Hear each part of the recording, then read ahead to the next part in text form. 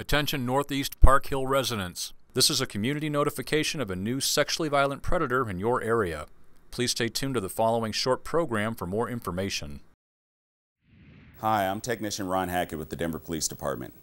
The Sex Offender Registration and Compliance Unit at DPD is responsible for the registration, monitoring, and tracking of all registered sex offenders and sexually violent predators who live in the city and county of Denver.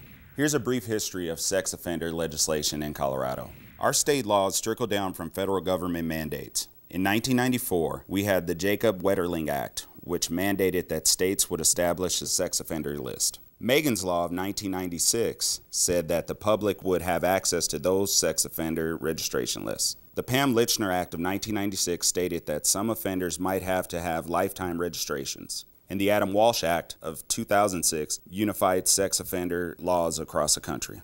In Colorado, the legislature has determined that sexually violent predators, by definition, pose a higher risk to the community at large, and therefore mandated that upon their release from the Department of Corrections, the community must be notified. Sex offender notification in Colorado happens in two ways. The first is passive and ongoing through the sex offender registration process, which is a list maintained by local police departments. The second way is active, via community notification for those offenders determined to be sexually violent predators by the courts or by the parole board. Most sex offenders in Colorado are supervised by the criminal justice system in our communities. Most sex offenders engage in crossover behavior, which means they may have been arrested for one type of crime but be apt to commit another. Many sex offenders have no criminal history at all prior to their arrest. There is no typical sex offender but all tend to be deceptive, manipulative, and secretive. 80 to 93% of sex offenses are committed by someone known to the victim. Sexual deviancy begins in mid to late adolescence. Sex offenses are not impulsive, they are usually carefully planned, and most sex offenders are male. The community has a vested interest in helping offenders to be successfully managed in the community. Sex offenders have the same need for housing and employment as any other citizen. Any citizen who uses sex offender information to harass, threaten, or intimidate an offender will be subject to criminal prosecution. There are approximately 16,500 registered sex offenders in the state of Colorado.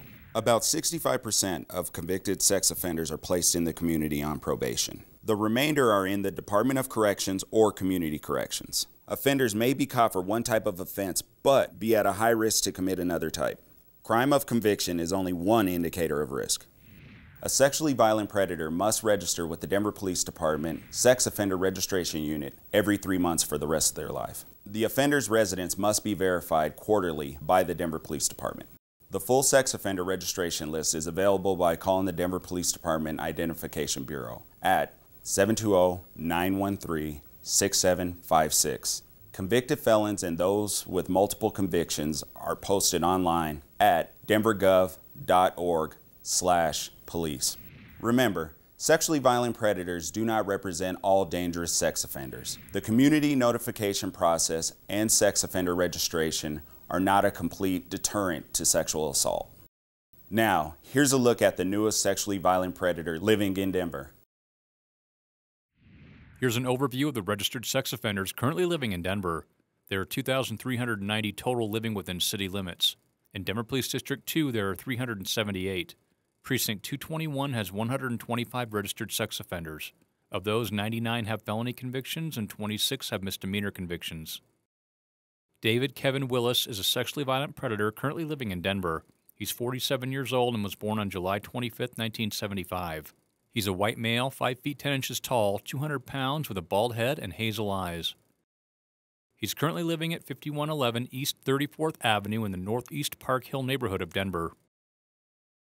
Schools located within one mile of this offender include Stedman Elementary at 2940 Dexter Street, McAuliffe International School at 2540 Holly Street, Hallett Academy at 2950 Jasmine Street, Smith Elementary at 3590 Jasmine Street, Parks located within one mile of this offender include Colorado Boulevard Park, City of Nairobi Park, Skyland Park, City of Axum Park, Ferguson Park, City Park Municipal Golf Course, Boyd Park, Fairfax Park. Recreation centers located within one mile of this offender include Hiawatha Davis Jr. Rec Center at 3334 Holly Street. Bus routes located within one mile of this offender include Route 34, 35th Avenue and Elm Street, 35th Avenue and Forest Street, 35th Avenue and Glencoe Street, 35th Avenue and Dahlia Street, 34th Avenue and Forest Street, Dahlia Street and Bruce Randolph Avenue. Route 43, Martin Luther King Boulevard and Elm Street, Martin Luther King Boulevard and Fairfax Street. A brief history of charges against this offender attempted sexual assault on a child, sexual assault victim incapable, sexual contact no consent, assault 2 drugging victim, sexual contact incapable force threats. He's currently on parole and registered with the Denver Police Department on April 24, 2023, to 5111 East 34th Avenue in the Northeast Park Hill neighborhood of Denver. Past charges against this offender include sexual assault on a child, internet luring of a child, internet exploitation of a child, attempted sexual assault on a child, sexual assault victim incapable, sexual assault victim helpless, sexual contact no consent, assault 2 drugging victim, sexual contact incapable force threats, parole violation. David Kevin Willis has been determined a sexually violent predator after meeting the following criteria. Criteria 1 Age 18 or older on the date of the offense, or under 18 and tried as an adult. The offender was age 41 at the time of the offense. Criteria 2. The crime must have been committed on or after July 1, 1997 and convicted on or after July 1, 1999.